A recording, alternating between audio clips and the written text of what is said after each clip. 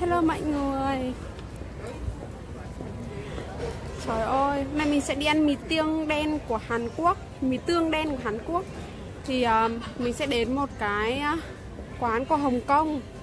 Thì uh, thực ra là cái quán này thì bán món Hồng Kông ấy. Nhưng mà theo mình nghe nói rằng là ở Hồng Kông không có mì tương đen đấy. Mà sang bên này thì họ kiểu như biến thể theo cái vị ăn của người Hàn Quốc ấy. Thì có cái mì tương đen đấy đây là quán Hồng Kông Ban Trong Mình sẽ ăn ở đây. Quán này thì mở 24 giờ. Gần ở trường mình thôi. Có rất là nhiều món.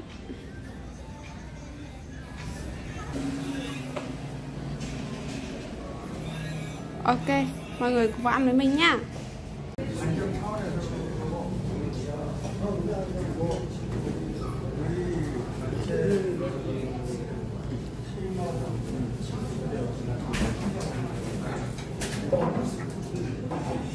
Order rồi.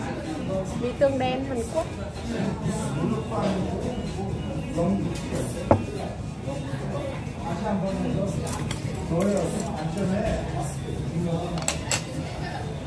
인생은 이게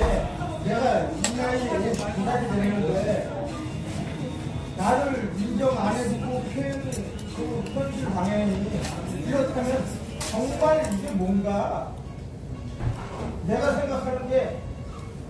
hành tây chọc người thấy cái này không biết là cái gì. ngon lắm.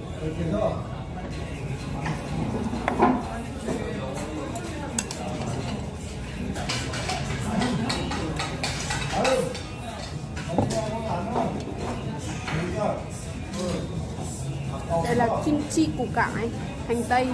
Hành tây này thì là người ta đã ngâm cho hết hăng rồi.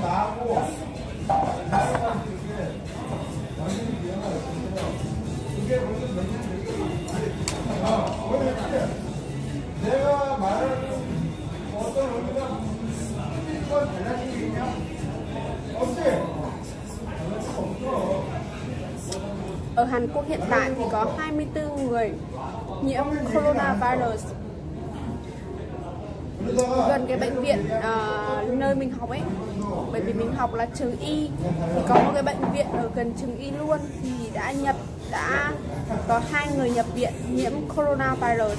Vì thế ở trước cửa bệnh viện ấy thì có rất là nhiều các xe cứu thương và có những cái kiểu như là có đài truyền hình Hàn Quốc nữa. Họ túc trực ở đấy họ lấy tin ấy thì đến thời điểm bây giờ là Hàn Quốc là có 24 người nhiễm và có hai người hai bệnh nhân thì là đang uh, nhập viện ở ngay trường của mình luôn. Một sự lo lắng không hề nhẹ. Ở nhà ăn bệnh viện mới có dám vào đâu. Mình không dám ăn cơm ở bệnh viện nữa. Ở Việt Nam mình nghe nói là đến thời điểm này thì đã có 14 người bị nhiễm corona virus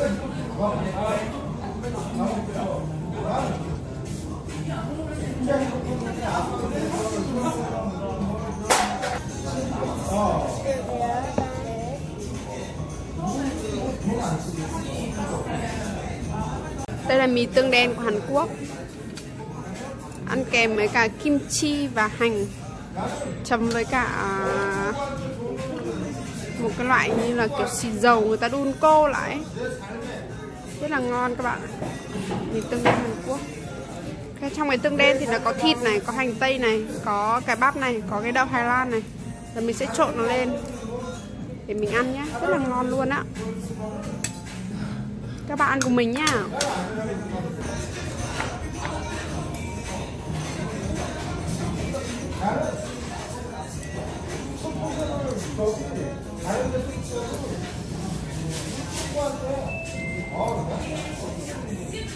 cái đĩa mì này là mình sẽ phải trả là 90.000 tiền Việt Nam 4 rưỡi won 90.000 tiền Việt Nam nói chung là rẻ rẻ so với các món khác ở bên Hàn này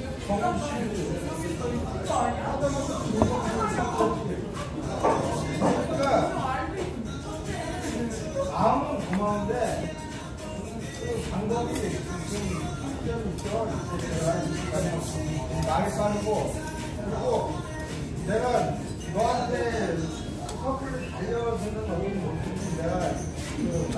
Ngon quá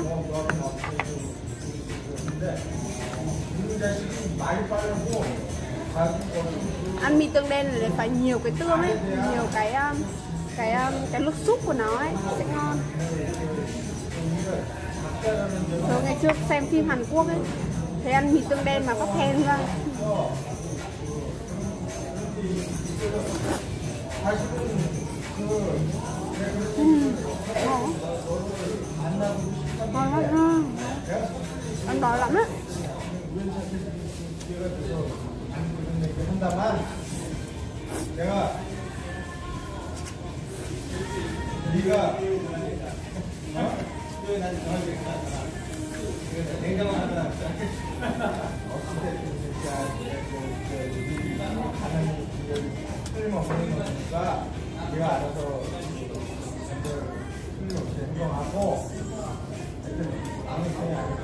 ơi, dịch bệnh làm cho mình lo lắng lắm á. Thật luôn. Bởi vì mình tìm hiểu rất là nhiều về dịch bệnh này.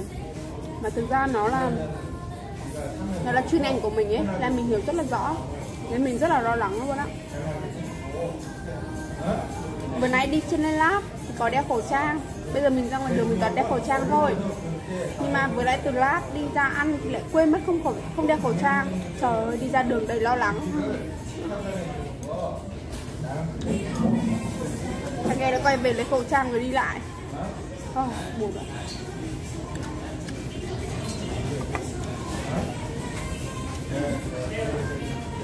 Ngon quá. Ngon quá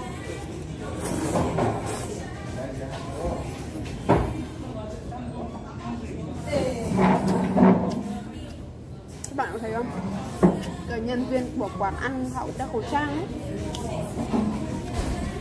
사람들 다 집중이 됐어. 그, 우리 한국 사람이 집중돼가지고 모르는 사람도 길가에 나와서 그냥 안수하고 그냥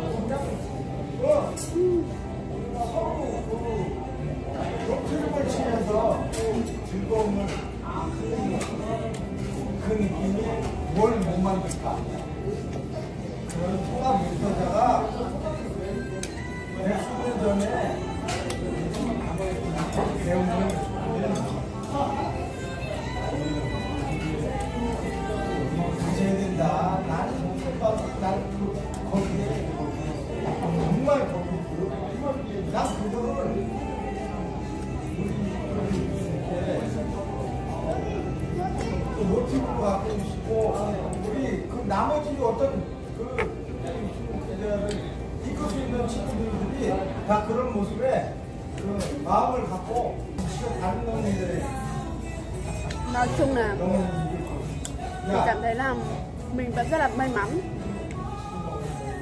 bởi vì những người đáng thương hiện tại là những người Trung Quốc những người đang bị cách ly nhất ở thành phố Vũ Hán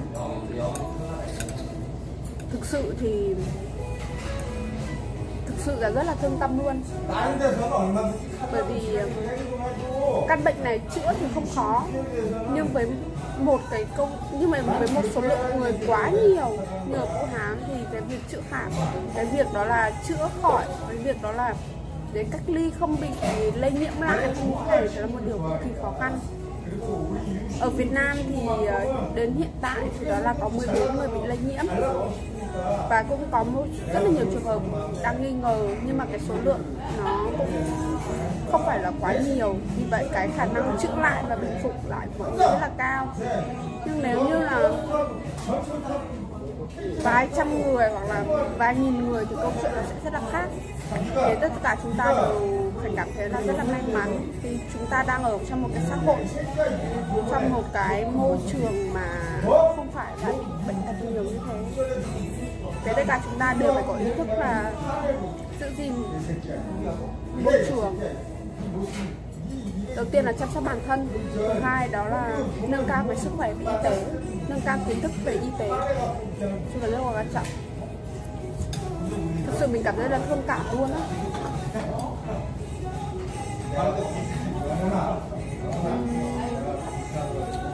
Nhưng mà mình cũng cảm thấy là rất là qua cái vụ dịch này á mặc dù thì ờ, nó vẫn còn tiếp tục nó chưa kết thúc ấy nhưng mình cảm thấy rằng là mình cảm thấy rất là cảm động và cảm thấy rất là tự hào về đất nước Việt Nam. Bởi vì nước Việt Nam thì gần Trung Quốc mà Trung Quốc thì có cái dịch lớn như vậy. Nhưng mà đến hiện tại bây giờ thì Việt Nam mới có 14 bệnh nhân bị nhiễm bệnh. Thì thực ra đấy là một cái sự gọi là nỗ lực rất là lớn của chính phủ và đảng Việt Nam. Trong cái công cuộc đó là uh, phòng chống di tán uh, chống lây nhiễm bệnh đối với nhân dân Việt Nam từ người Trung Quốc. Bởi vì các bạn biết rằng là từ Trung Quốc sang Việt Nam nó rất là nhiều con đường. Không phải máy bay thì cũng có thể là đường biển không phải đường biển thì có các đường đường cửa khẩu ấy. Lạng Sơn, Quảng Ninh rất là nhiều luôn từ Việt Nam, từ Hàn từ Trung Quốc sang Việt Nam là có nghĩa là rất là nhiều con đường để dễ dàng và đến hiện tại, đến thời điểm hiện tại. Mà số lượng bệnh nhân mới chỉ là 14 thì phải công nhận đấy là sự nỗ lực rất là lớn của nhà nước Việt Nam. Thực sự rất là cảm động luôn ạ. Mà Việt Nam từ vừa rồi lại còn à, uh, cử máy bay để sang Trung Quốc và Vũ Hán để đón người Việt Nam về và có cái chương trình đó là cách ly người dân trong vòng 14 ngày để từ ngày trở về mà được có nghĩa là người dân được trở về trong cái thời cách ly đấy thì cũng được uh, nhà nước hỗ trợ về cuộc sống ăn uống các thứ cho ăn chỗ đàng hoàng á. Trời ơi mình phải công nhận là mình rất là trời ơi tự hào về con người Việt Nam thực sự là rất là biết ơn luôn á. Các bạn biết rằng là ở Hàn Quốc này uh, Hàn Quốc là một nơi mà thực ra là về về về bộ máy y tế các thứ thì nó cũng khá là phát triển nó rất là phát triển. Nhưng mà đến hiện tại bây giờ thì cái số lượng người bị uh, mắc bệnh đó là 24 người mà nó cao hơn Việt Nam, với cái thứ hai đó là về cái việc mà từ Trung Quốc sang Hàn Quốc thì đó là điều là khó hơn, khăn hơn rất là nhiều so với cái việc là từ Trung Quốc sang Việt Nam á. Thì mình phải công nhận là sự nỗ lực của đảng và nhà nước của Việt Nam mình phải công nhận là rất là biết ơn.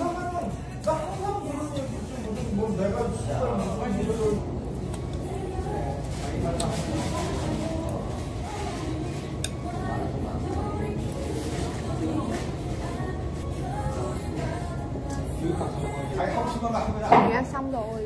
sẽ quay trở lại lab để làm việc á.